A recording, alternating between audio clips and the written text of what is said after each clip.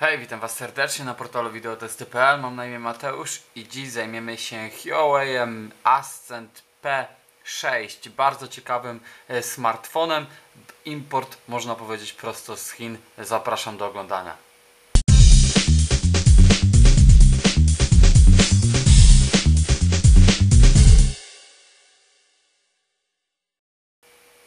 Zanim e, rozpoczniemy recenzję naszego Huawei, zobaczymy co ten chiński producent dostarczył nam w pudełku. Poza telefonem oczywiście znajdziemy tutaj trzy pudełeczka. W pierwszym pudełeczku znajdziemy, widzimy, że niby wszystko eleganckie, czyli taka można powiedzieć marka premium. Znajdziemy słuchawki.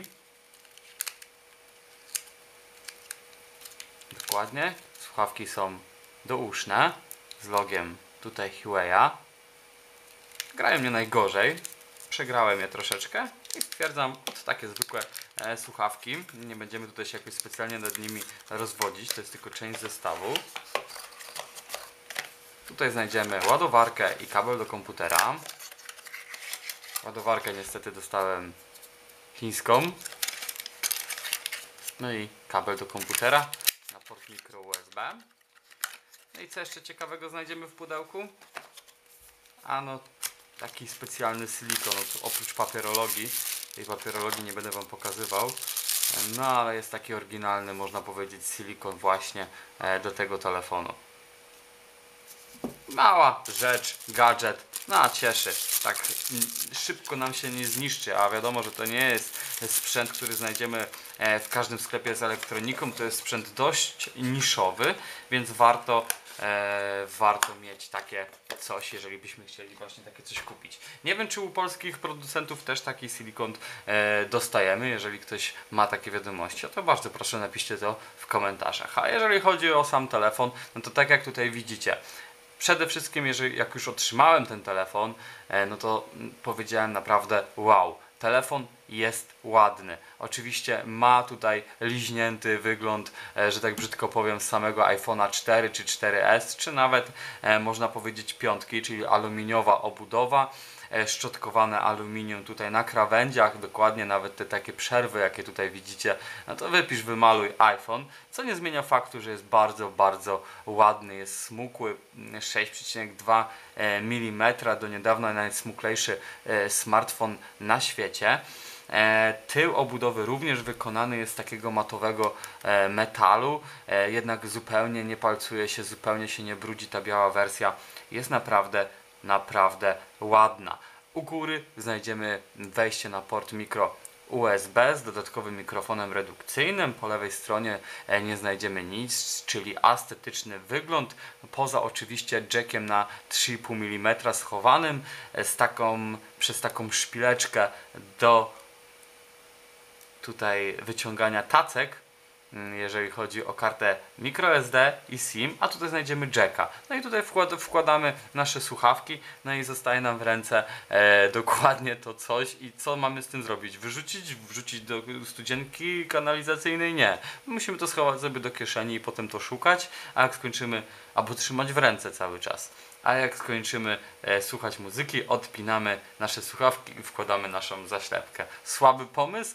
Ale wyobraźnia jest. To, to, to się liczy. Niekiedy zupełnie nielogiczne pomysły e, są dosyć fajne, są dosyć ładne. No tu się zgodzę, fajnie to wygląda, ale praktycznie e, absolutnie to się nie nadaje do użytku.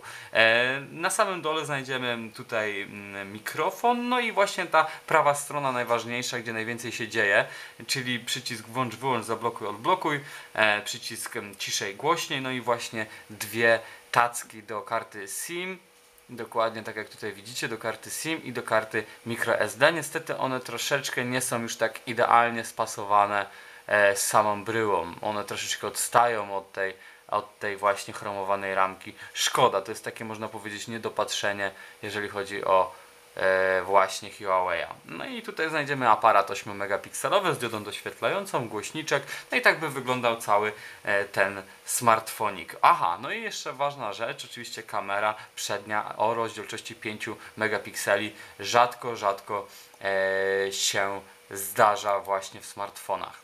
Rzadko się nawet dwa zdarza, ale 5 to już w ogóle, no i jeszcze czujniki zbliżeniowe światła. Ok, przejdźmy do samego smartfona, do samego systemu operacyjnego. Mamy tutaj Androida wersji 4.2.2 e, z nakładką Emotion, e, czyli tutaj no nie mamy dostępu do samego menu, e, tylko tak jak w, w systemie iOS mamy wszystko wyrzucone no niejako na pulpicie. Mamy też możliwość uszczypnięcia, ustawienia sobie ekranu powiedzmy głównego, e, czy nawet e, zrobienia sobie tych kilku e, pulpitów. Czyli e, sama nakładka jest bardzo, bardzo prosta w użytkowaniu. Każdy sobie powinien z nią poradzić. E, do tego jest przy okazji ładna, z dużą ilością efektów, można powiedzieć takich e, z takich efektów, e, jeżeli chodzi o animację i tak dalej. Mamy tutaj e, też motywy, może jakiś ciemniejszy sobie wybierzemy, żeby był jakiś kontrast między białą nakładką. Dokładnie. I tak to mniej więcej właśnie e, wygląda. Jeżeli chodzi o aplikacje takie preinstalowane, no to oprócz tego oczywiście motywu mm, e, mamy też, e, mamy też w ustawieniach fajne, ciekawe rzeczy się dzieją, a przede wszystkim jeżeli chodzi o na przykład menadżer zasilania, czyli możemy sobie ustawić stan normalny i powiedzmy inteligentny i wytrzymałość, czyli od razu pokazuje nam ile jeszcze nam zostało baterii i ile możemy na tym smartfonie jeszcze działać. Mamy też jeszcze energochłonne aplikacje, czyli możemy dane aplikacje wyłączać, czy nawet wręcz od, odinstalowywać te aplikacje, oczywiście nie googlowe, ale jeżeli włączymy jakąś grę, mm, e, jeżeli włączymy jakąś grę, no to właśnie tam e, to będziemy mogli sobie na przykład wyłączyć. Taki menadżer aplikacji po prostu, o w skrócie. Mamy też jeszcze menadżer plików. E, telefon wspiera OTG, czyli jak najbardziej możemy pod to podpiąć też pendrive'a, mamy kalendarz, e, no i jakieś tutaj zarządzanie, e, menadżer uprawnień, instalator aplikacji, kopia zapasowa, menadżer tego właśnie zasilania, aktualizacja systemu, więc narzędzia jeszcze troszeczkę tego jest, radio FM, kalkulator, notatki, czyli w pełen wyposażony system. Samo działanie systemu też jak najbardziej nie przysparza żadnych problemów, wszystko działa w miarę szybko, ale brakuje tego klawisza menu i tam tych, tych, y, tych, tych aplikacji. No ale to mówię, do tego musimy się przyzwyczaić i jakoś sobie zagospodarować miejsce na tych e, pulpitach. A jeżeli chodzi o wydajność, e, mamy tutaj mm, procesor, procesor mm, Huawei K3V2 o taktowaniu 1,5 GHz, on jest oparty na Cortexie A9, e, 4 rdzenie i 2 GB RAM. E, czyli mm, można powiedzieć, że dość, dość ciekawa specyfikacja, jednak w zupełności ona nie radzi sobie w normalnym e, użytkowaniu. No, no niestety. Wydajność, wydajność tego smartfona to jest właśnie pięta achillesowa. Świetny ekran dotykowy, no o tym tutaj też jeszcze trzeba wspomnieć, to jest ekran IPS-owy o rozdzielczości 1280 na 720 e, pikseli. Rewelacyjne kąty widzenia, właściwie zupełnie nie zniekształcają e, samego obrazu, no i te barwy aż wychodzą. Huawei naprawdę robił, Huawei ogólnie robi naprawdę dobre ekrany i to już zauważyłem już dawno temu przy recenzji na przykład Huawei, a na przykład Honor. E, świetnie to wygląda. Oczywiście to wszystko w tych ekranach takiej klasy premium czy, czy, czy właśnie w smartfonach. No a jeżeli właśnie chodzi o e, tą jednostkę a jeżeli chodzi o tą jednostkę tutaj, którą mamy, 15 tysięcy punktów mm, e, w benchmarku Antutu, ponad 5 tysięcy w benchmarku Quadrant, ale w samej praktyce niestety nie wypada to już tak różowo. Zainstalowałem na przykład Angry Birds mm, Go, taka nowa gierka, nie wiem czy e, już w nią graliście. E, stwierdziłem, że to będzie taka idealna gra na ten smartfon, czyli nie jakoś tam super wymagająca,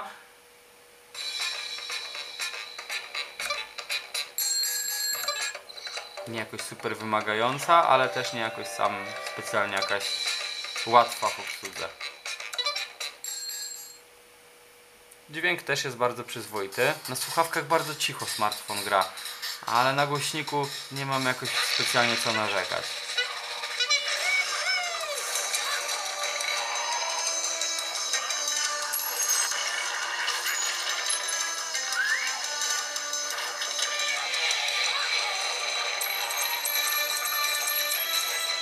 Jak widzicie animacja jest. Odtwarza dość, dość płynnie, ale ja nie wiem czy wy to zobaczycie, ale ja tu naprawdę widzę pewne haczenia, pewne małe lagi. Nieduże, bo nieduże, ale są. To samo w systemie. Brak optymalizacji ogólnopojętej. Niestety. No ale jak widzicie, spokojnie można sobie pograć w gry 3D, w miarę nawet wymagające.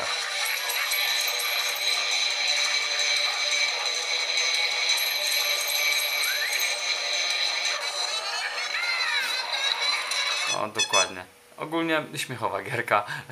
warto, polecam, warto, warto w nią zagrać. Może przejdźmy jeszcze do aparatu samego. Aparat 8 megapikselowy. Zrobiłem już kilka zdjęć. A tu ja. Dokładnie.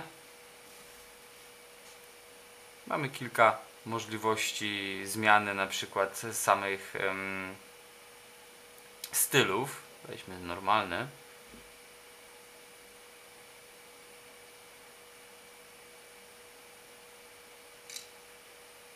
Dokładnie.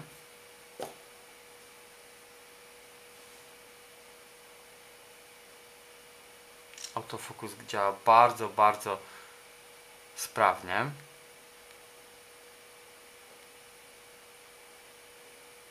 No i zdjęcia też. Oczywiście zdjęcia wrzucę na kanał wideotesty.pl. E, Tam będziecie mogli sobie zobaczyć jak to e, wszystko wygląda. No a my jeszcze przejdziemy sobie do internetu. Odpalimy i przeglądarkę stokową, przepraszam. Wejdźmy na stronę wideotesty.pl.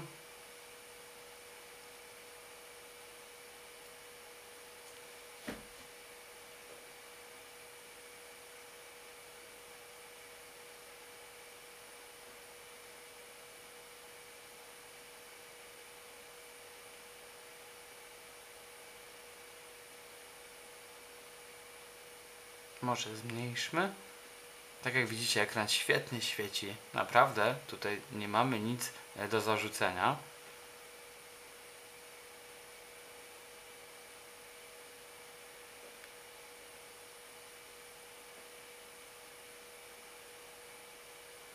Dokładnie, może zobaczmy co tam się na forum dzieje, jak jeszcze jakieś inne linki wchodzą.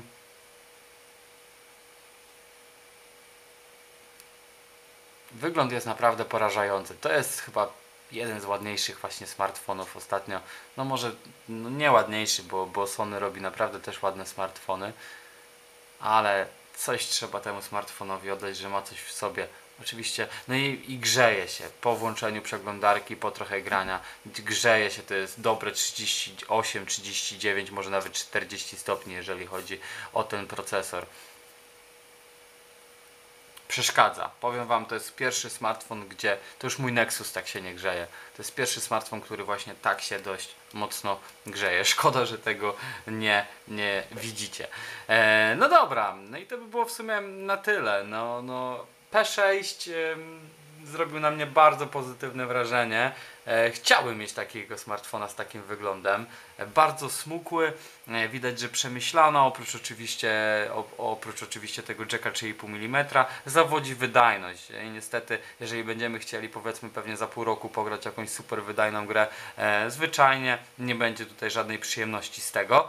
E, Bardzo dobre multimedia, bardzo dobry dźwięk, choć na słuchawkach troszeczkę słabo e, słychać. Mm, Mam na myśli tutaj za cicho, ale bardzo dobry aparat, e, przyjemne przeglądanie internetu, brak takich można powiedzieć power feature'ów e, tutaj, że nie mamy jakichś można powiedzieć wodotrysków i tak dalej. Od taki dobry, solidny smartfon. E, szkoda, że taki drogi, bo cena 1200-1400 zł jak za takie urządzenie, e, no niestety mm, no nie zachęca do zakupu, o, że tak powiem. Za taką cenę znajdziemy dużo, dużo lepsze smartfony, ale nie ładniejsze. Ocenę, wystawiam ocenę e, 4. To jest jednak dosyć e, naciągana ocena, ale wydaje mi się, że całkiem e, sprawiedliwa. Zapraszam Was na stronę wideotesty.pl, tam będziecie mogli przeczytać recenzję. No i co? Do następnego razu. Trzymajcie się, hej!